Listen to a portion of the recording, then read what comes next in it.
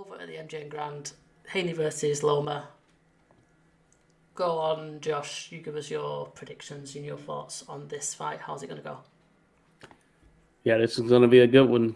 Kind of one that has been in waiting long time in the making, I guess you can say. We're going to get the guy, Devin Haney, who seemed to be poised to become one of the top boxers in the world, given that he started young and early.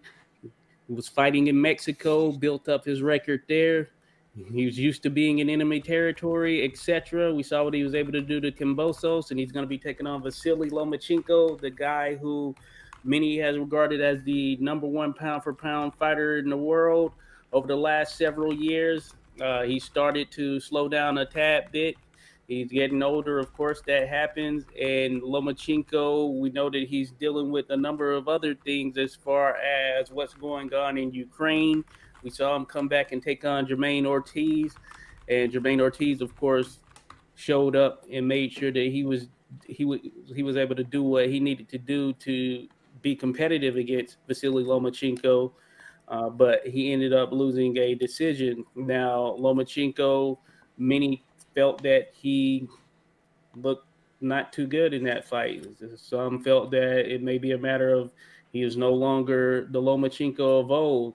It could have been a multitude of things that lended towards uh, why that was the case. But I do think that Jamaine Ortiz was just a big, strong fighter who was really game in that contest. So we're going to see what the both of them have to offer here. This being Haney and Lomachenko in what – in theory, in theory at least, could be the two top guys at 135, uh, depending on how things shape up. Uh, you know, we have Tank Davis there, we have Shakur Stevenson there, but as far as who should be considered the top dog when this fight ends, I think it's the winner.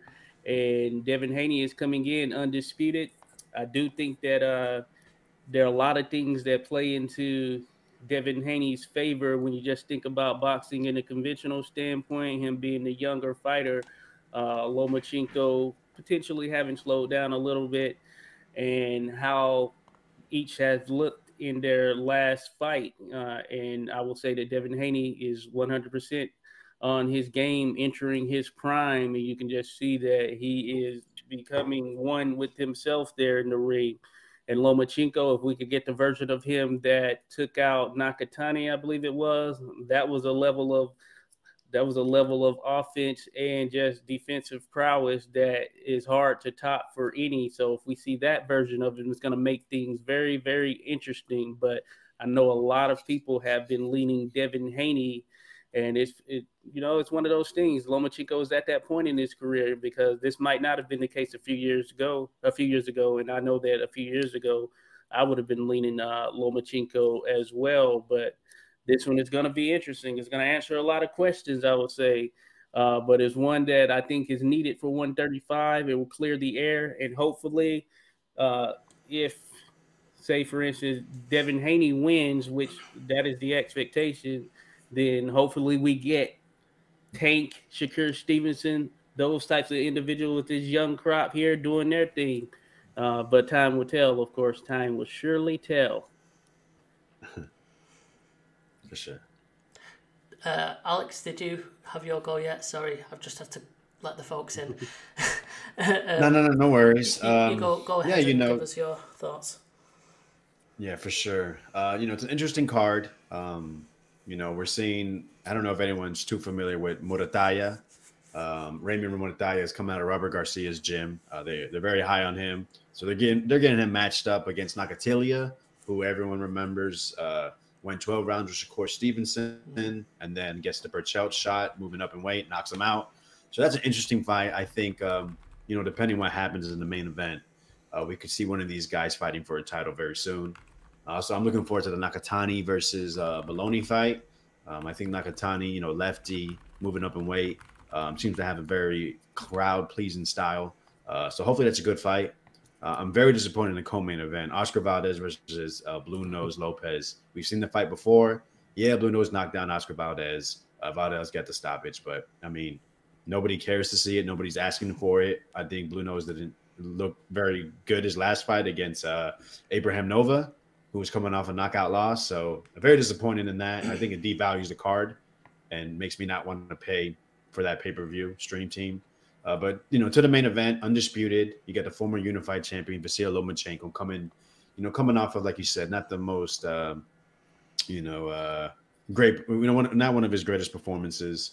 Uh, you can give a reason why here. You could say it's the age. You can say, you know, finally the size is making a difference. You could say because he's worried about his country. By the end of the day, you got to get in that ring, be the best you can. Going against a 20, 24 year old Devin Haney, starting to really reach that prime. Doesn't look like, um, you know, someone that's going to be smaller, older, slower is going to be able to do much uh, to Devin. Uh, but Lomachenko, you can't take away his credentials. However, I think this is going to be an interesting fight for the first three rounds. And I think youth, I think speed, I think size is going to play a factor, and I expect Devin Haney to come out of this victorious. I'm I'm putting it down right now. I'm thinking of a nine three, you know, maybe eight four. Um, I think is what's going to be the con- the consensus out there. You know, what the judges put, who knows? But uh, hopefully, it's a great fight. And uh, unfortunately, I don't think the winner is going to be seen as a number one fighter. Still, I think uh, Tank's popularity, his knockouts, uh, and just the the buzz he has going for him is going to make him reign supreme. And uh, hopefully, the winner faces uh, Tank. And if not, I think Shakur is probably the next best option. But this is boxing, mm-hmm. this is business, and uh, this is the times we're in. So we'll see what happens next. Sweet.